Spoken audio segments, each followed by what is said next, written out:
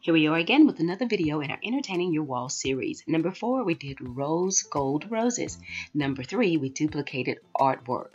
And video number two, we upcycled a tabletop into a wall mirror. And in video number one, it was a pocket watch for your walls. And somewhere along the way, I issued an open collab invitation on Instagram if you have a spring or Easter tablescape coming up. Welcome to Amateur Decorating Like a Pro. I'm Catherine. Let's go ahead and go to work.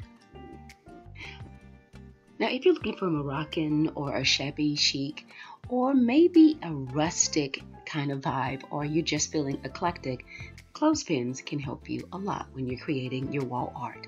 And these clothespins are from the Dollar Tree. There will be a complete list of the supplies you will need for each project that I'm going to show you. But let's go ahead and jump right in. The first thing you want to do is disassemble each clothespin. And then flip it to the back side and glue the back of the pins together. You can just use a little crazy glue, just a little dot will do. And sometimes I did a little too much, but you know, and eventually I got it right. Just a little dot will do. Now for added pressure, you can apply rubber bands or use binder clips, which I just happen to have in my craft room. This project is basically going to carry me through several projects, so it's very important that I get this one right. I'm simply flipping the clothespin some in and some outward using my hot glue gun. Just putting a dot of glue in between the clothespins at the same point every single time, and then just adding one complete ring of glue around the whole thing. Now, don't be disappointed if it falls apart when you pick it up.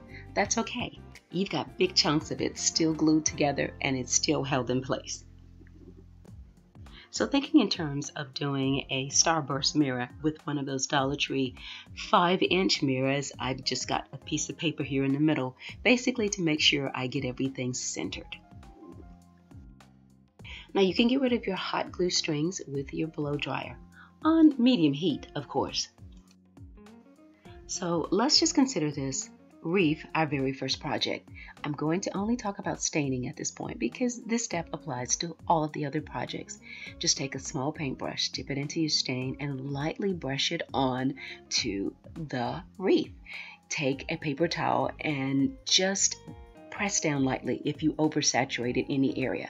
Wood is porous, it absorbs everything that you put on it. Now you don't have to stain it like I did. You can spray paint, hand paint, sponge paint, whatever you want to do to give it a pop of color. Now to assemble your wreath, you want to just take a clothes hanger or any kind of thick wire, something that you can bend very easily, of course. I'm using a clothes hanger. And you want to cut it to the length or the circumference of your wreath. So it fits right on the part that you connected with the glue. And then you want to just apply glue directly to the wire and have it kind of connect or run over the edges of your wire. That's it. That's all you need to do to create the reef. I'm using my wire cutters to hold the wire down while the glue is cooling down. There are 36 clothespins in each packet, so you'll need two of them. This reef contains 54 clothespins, 27 on the inner ring and 27 on the outer ring. Now you only need to use the wire for the wreath, not for any other project. Now keep in mind at this point I'm using the same wreath or project over and over again. My Dollar Trees are running out of clothespins and basically I bought them out. So keep that in mind. So at this point we've simply made a wreath. Now we're moving on to another project. I love the wreath, but I made a mistake and I placed the mirror on top of the wreath and my mind went boom, do this and do this now. Well, I decided that I would take it up a notch and having stained the piece, I decided to place it on canvas. You know, my walls are dark, so anytime that I get to add a little light to them using canvas, I'm going to take that. I placed the entire thing on this piece of canvas and there is a book underneath it so I don't apply too much pressure on top of the canvas. And then I used some of the broken clothespins to make sure I had equal spacing and I glued them to the canvas. I glued both the inner ring and the outer ring to the canvas. And I'm using my old small hot glue gun. It's very small at the tip, so it can slide very easily under the edges of the clothespin. And with it being small, it seldom dispenses too much glue on a project. And once again, I used my blow dryer to get rid of all of those crazy hot glue strings all over the place. I was constantly placing a mirror in the center of this project to make sure that the opening didn't get too big. So when it came time to add the mirror, all I had to do was take my E6000, add it to the tips of the clothespins in the very center, and then place my mirror on top of it. Now here's what I love about this project. It's a very clean project. Basically, I have my sunburst, I have my canvas, and I have my mirror. So it's very clean and it basically doesn't need anything else. I am really challenging myself this year not to over embellish my projects and limit their versatility when it comes to moving them from room to room. So I'm really challenging myself. I'm only adding a few gemstones on this canvas so that it will remain nice and simple, but yet have a little touch of bling. And with or without the gems, it is still a gorgeous project on canvas. This is a 16 by 20 canvas and it's a perfect size to add another one right next to it or maybe two of them. You don't necessarily have to have the clothespins in the laundry room. All right, guys, whatever you consider to be art this day and age is indeed art. I'm always on Pinterest. I got my favorite magazines. And of course, I listen to my favorite interior designers. Hello, Tamala from Holt on Design. And I am loving anything that I see that has natural wood. And these clothespins, yep, they're wood. And seeing all of the carvings out there, you can't go into a store without seeing that right now. I'm inspired to kind of create something natural in my home. So, getting back to what I'm doing right now with this project, I've got a placemat here from the Dollar Tree, and I'm using 79 clothespins. Uh, the prep work has been done. I'm applying a little bit of glue to the tip of the clothespins, and I using the same distance from the edge every single time for each clothespin. I'm gluing them to the placemat. And like I said, I'm only applying the glue to the tip of the clothespin.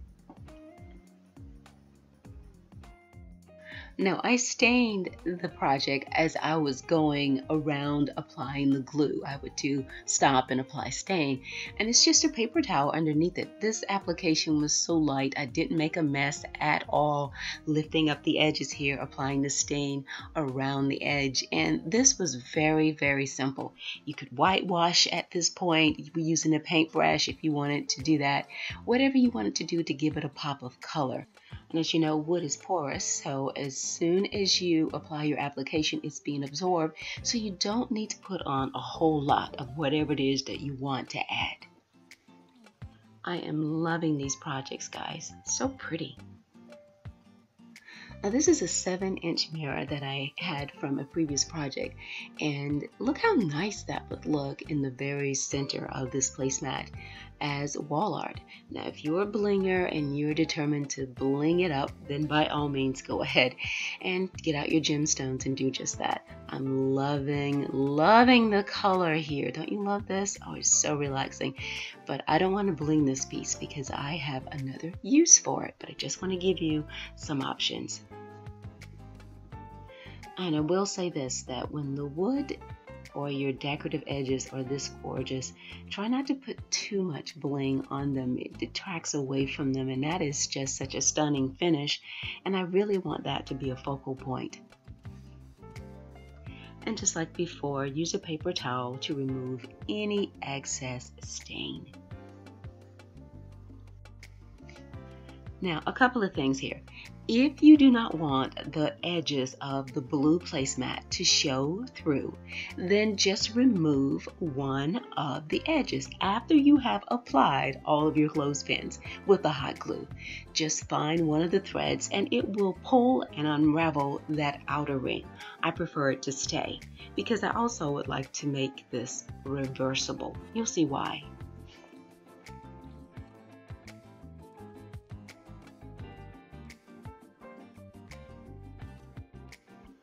Now to hang this ethnic or rustic piece on the wall, just disassemble a binder clip and insert it into the weave of the placemat and hang it on the wall. Use two of those metal pieces. Insert those maybe about six to eight inches apart, and you might want to add a third one. It's up to you. Just hang it on the wall. It's very pretty. Now, obviously, you were thinking that this was a placemat project all along, and I was just being adventurous. Well, you're partially correct. So, I have here my 79 clothespins on top of my Dollar Tree placemats, and I absolutely love it. Remember that Pier 1 placemat, or shall I say, it was a charger that was out there a couple of years ago and it had the same finish, but it also was whitewashed. I fell in love with it, but it was so expensive. Now, guys, this final tip I learned after the fact. In other words, I learned the hard way. If you want a reversible placemat, all you have to do is apply your clothespins to the wrong side of the placemat. That way, when you flip it over, those blue edges will be nice and clean as if that's the right side up, which is exactly what it is right side up. But that's it for me, guys. If you're going bohemian, Moroccan, rustic, or whatever it may be, this is a really simple DIY and a very inexpensive one. If you're not a subscriber, please consider doing so today. Remember to turn on your notifications so you don't miss a single video. Like, what am I doing for artwork in my living room? Turn on your notifications. Thanks a lot for watching. And as always, stay in prayer and stay creative.